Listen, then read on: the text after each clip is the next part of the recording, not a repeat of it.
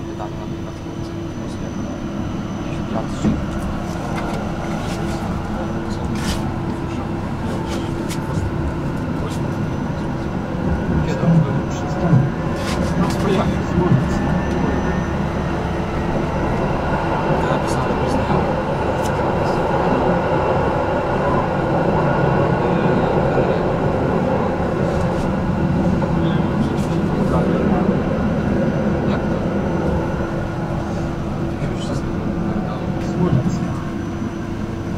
przekonać, że ten gościu, bo on z kimś gadał chwilę przed tym, jak poszedł do Pandora i gościu, że ośmiu.